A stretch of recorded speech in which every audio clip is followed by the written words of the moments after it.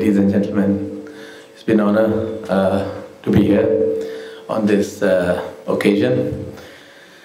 I uh, I represent میں نے پاکستان کے لیے ریپرزینٹ کیا ہے ہاکی میں اور میں بہت خوش قسمت اپنے آپ کو سمجھتا ہوں کہ میں ان پاکستانیوں میں سے ہوں جو کہ uh, اپنے ملک کے لیے کوئی آنر لے کر آئے جس میں اولمپکس کا جیتنا بھی ہے ورلڈ کپ کا جیتنا بھی ہے ایشین گیمز ایشیا کپ سارا جتنے بھی اس وقت ٹورنامنٹ تھے یہ خاص طور سے میں اپنے ینگ جنریشن کے لیے بتانا چاہتا ہوں کیونکہ وہ اب وہ ہاکی کو اس طرح نہیں دیکھتے جیسے کہ میرے ہم عمر کے اور اس وقت دیکھا کرتے تھے۔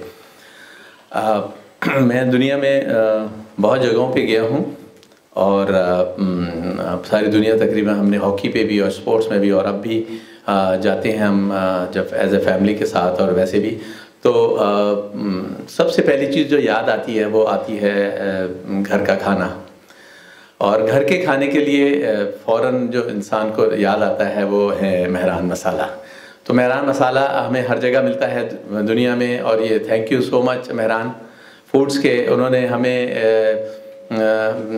پرووائڈ کیا باہر ملکوں میں۔ ہمیں اپنا پاکستان کا جو ٹیسٹ ہے، جو پاکستانی کھانوں کا خاص طور سے دنیا میں مشہور ہے وہ وہ ٹیسٹ ہمیں جو ہم ڈیولپ کر چکے ہیں اپنا، وہ ہمیں ہر دنیا میں چاہیے اور ہر جگہ چاہیے اور ہمیں یہ پرووائڈ کر رہے ہیں۔ تو thank you so much Mehran Masala. اور اس کے لیے میں کہوں گا کہ مہران ٹیم، خاص طور سے under the leadership of senator Gul Muhammad Lad صاحب جنہوں نے یہ پرووائڈ کیا، ہمیں اتنی اپارچونیٹی ہمیں ملی کہ ہم اس تک پہنچ سکیں اور جگہ جگہ پہ انہوں نے ہمیں پرووائڈ کیا ہے۔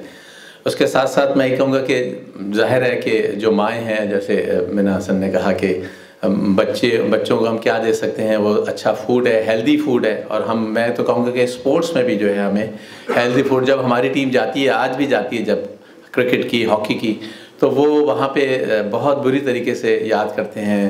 کھانا پاکستانی، گھر کا کھانا، اور جو کہ مہران مسالہ پرووائڈ کرتا ہے ان کو وہاں پہ۔ تو ماشاءاللہ یہ ان کی ایک جو ایکسپورٹس ہیں ان کی اس میں ایک بہت بڑا نام ہے اور جو پاکستان میں بھی جو یہ پرووائڈ کر رہے ہیں جگہ جگہ، اس میں بھی یہ بہت بڑا نام کر چکے ہیں، ماشاءاللہ۔ اور جو ایز اے اسپورٹس مین میں کہوں گا کہ جو اچیو کیا ہے، جو اس آج جو ٹارگٹ اچیو کیا ہے، ماشاءاللہ میران ٹیم نے، وہ بھی قابل تعریف ہے۔ اور اس کے لیے ہمیشہ جو ہے وہ as a sportsman dedication hard work اور uh, uh, mm, positive approach کی ضرورت ہے جو کہ اس ٹیم میں نظر آتی ہے مجھے اور یہ um, دن دگنی اور رات چگنی uh, ترقی کرتا ہوا مہران مسالہ نظر آ رہا ہے اور میں امید کرتا ہوں کہ آگے بھی چل کے انشاءاللہ مہران مسالہ جو ہے وہ ہمیں اس طرح کے مختلف mm, mm, ٹیسٹ دیتا رہے گا کھانوں کے۔ اور اس طرح کے ایونٹس جو ہیں وہ ہم آتے رہیں گے اس میں۔ اور خاص طور سے جو آج یہ second grand Mehran lucky draw ہے اس میں شرکت کا ہمیں موقع دیا گیا اور آپ سب کو۔ اور دیکھتے ہیں کہ کون سے وہ خوش قسمت لوگ ہیں جن کو کہ مہران مسالی کی طرف سے یہ پرائزز ملیں گے۔ Thank you so much